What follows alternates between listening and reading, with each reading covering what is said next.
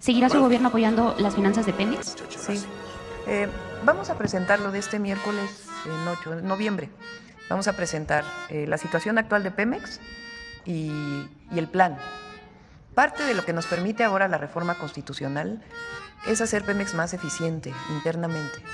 Muy complejo administrar una sola empresa con no tres subsidiarias, 40. Entonces vamos a aprovechar para disminuir costos. Aprovecho para decirle a los trabajadores que no tiene que ver con sus derechos laborales para que no se me vaya a malinterpretar. Pero, pero sí vamos a, a, a implementar una política de austeridad republicana muy importante al interior de Pemex y además que la haga más eficiente.